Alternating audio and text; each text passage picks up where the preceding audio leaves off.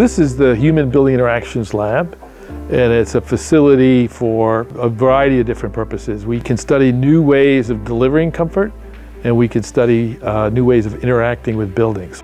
The really unique uh, thing about this facility is you see all these panels, right? These four by five panels. These uh, panels are all thermally active. So those surfaces can heat up or they can cool down. The, includes the floor, includes the ceiling.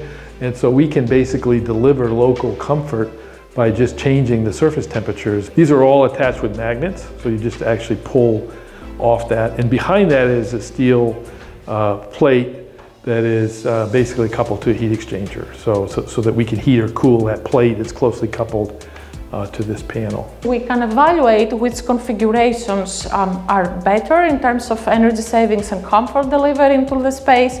For example, we can only operate this panel um, or we can operate a panel on this wall and a panel on this wall and we can look at the performance and economics. If we have, for example, two occupants in the space, and they are sitting on two couches on the far end of the two spaces.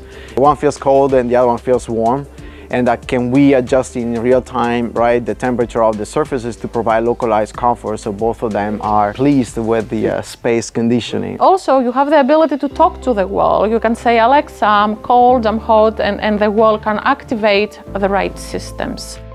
Herrick Labs is the largest HVAC laboratory in the world in a uh, university setting. All of this help us out to actually engineer and conceptualize and the design ultimately this facility.